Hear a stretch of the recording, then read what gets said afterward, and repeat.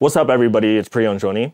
So did you know that on a DJM S11 mixer that there are up to four pad modes for each pad mode button? The primary ones are obvious because they're printed right on the button. The secondary ones, the ones that you hold shift and click the primary button to access, are printed right below it. But when you're using Serato, you actually have a third and fourth pad mode button, and it's not printed on the mixer.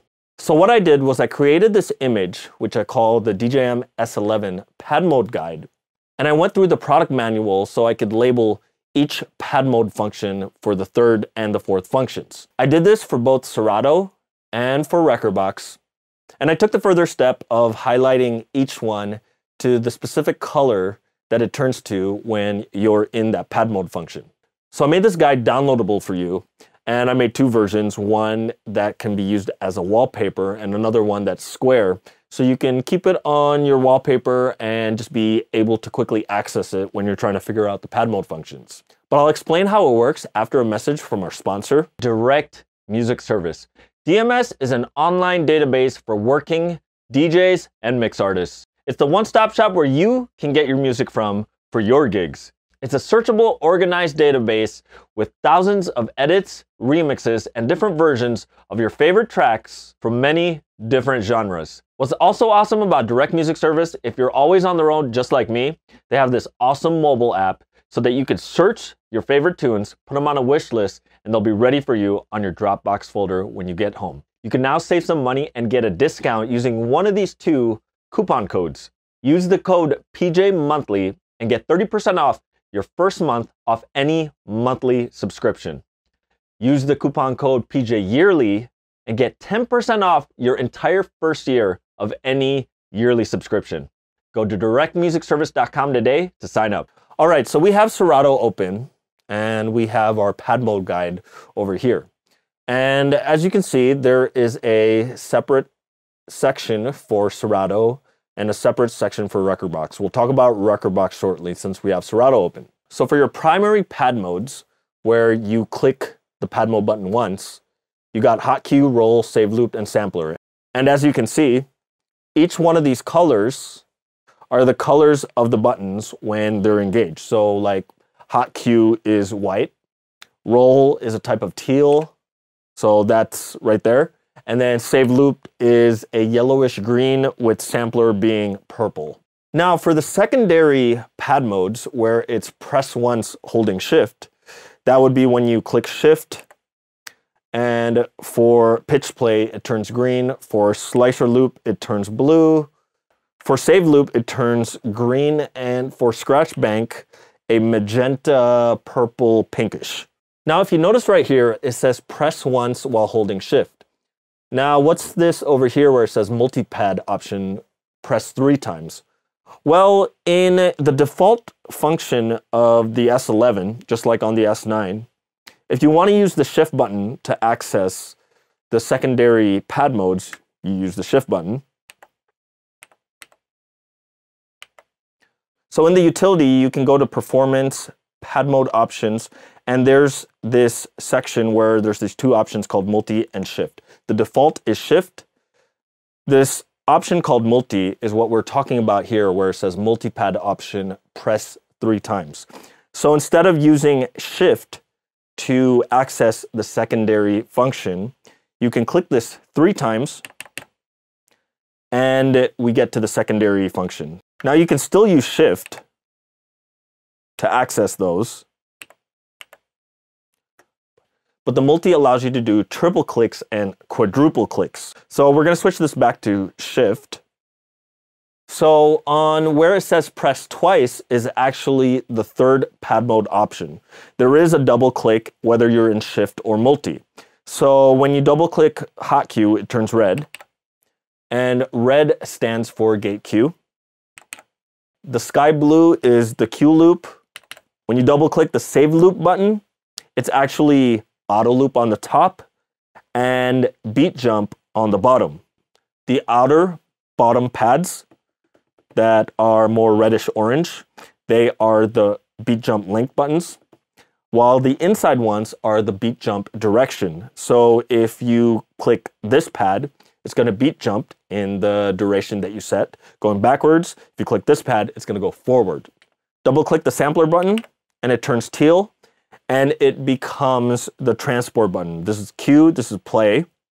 This pad becomes your key lock while this one becomes the sync button. These buttons right here serve as your tempo slider. So basically, if you're moving forward or faster, and this one is backwards, while these ones, these first two pads are your pitch bend buttons.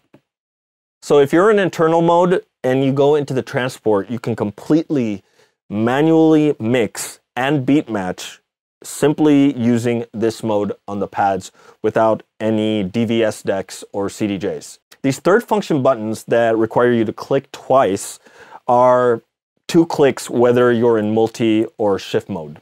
Now there is a fourth mode. If you click shift and double click the primary pad mode buttons, they turn yellow. All four will turn yellow. And these are your four user modes. You can customize these pads to do whatever you want them to do. Now we can cover how to do that in a different video. Leave it in the comment section if you're interested in learning how to do the user modes. But these fourth functions, which are your user modes, can be accessed two different ways. It would be shift, double click. But if you're in multi-mode, it's four clicks.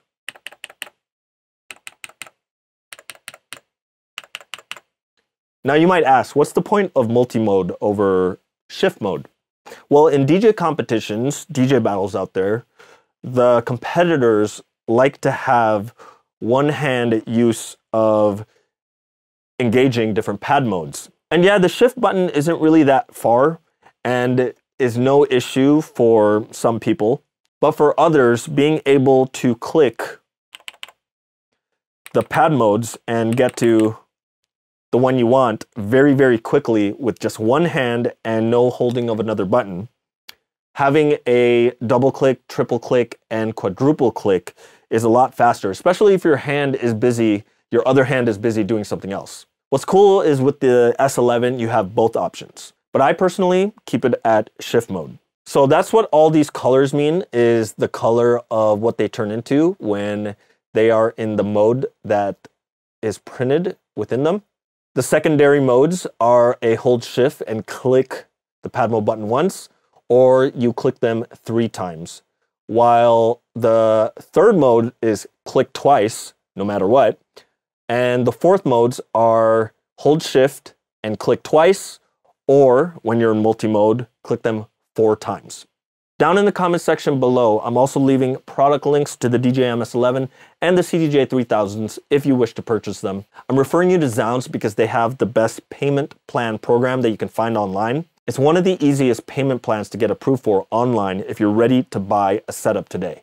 So in Rekordbox, it's a little different because there's only a primary pad mode and a secondary pad mode. All the primary pad modes are all purple and the secondary ones are all yellow. Now what's printed for the S11's pad modes is based on Serato. Rekordbox, it's actually different, so the only things that match up is hot cue and sampler. So this guide will be really useful for knowing what the pad modes are for Rekordbox on top of the colors that they are, which is only purple and yellow. So the first one is hot cue. The second one, even though it says roll, is your pad effects one. Third one is beat jump, and the fourth one is sampler, which is matches up on the S11.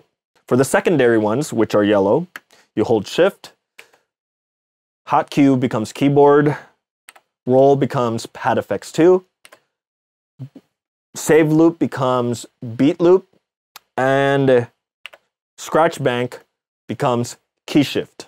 And once again, just like in Serato, if you're in multi-mode, you can access these by double-clicking. Now, here's what's cool about Rekordbox. While in Serato, it gives you four different pad modes that are user modes, But what's cool in Rekordbox is that you can change all eight of your pad modes, whether it's your primary or your secondary, and you can customize, change them, or reorder them to however you want by using the pad editor in Rekordbox. Also, let me know down in the comments if you want to learn how to change the pad modes in Rekordbox. So I hope this guide will help you remember your pad modes, especially the ones that aren't printed, which are your third and fourth pad mode functions in Serato, as well as all your pad mode functions in Rekordbox. Feel free to keep this guide on your wallpaper or just a file on your desktop, just so that you have quick access to be able to remember what your pad mode functions are. All right, well, if you got any comments, questions, or anything to add about what we talked about today, please leave them in the comment section below. We'd love to hear your thoughts, answer any questions, or learn anything new that I haven't covered in this video. If you like this video, please smash that like button. And if it's your first time here and you found this video useful, please click that subscribe button and don't forget to click that little bell icon so you get a notification the next time I upload a video. Don't forget to add me on Instagram where I do sneak peeks and teasers of my upcoming videos or cover content that I don't normally cover here on my YouTube. All right, thank you for watching, take care, and stay healthy.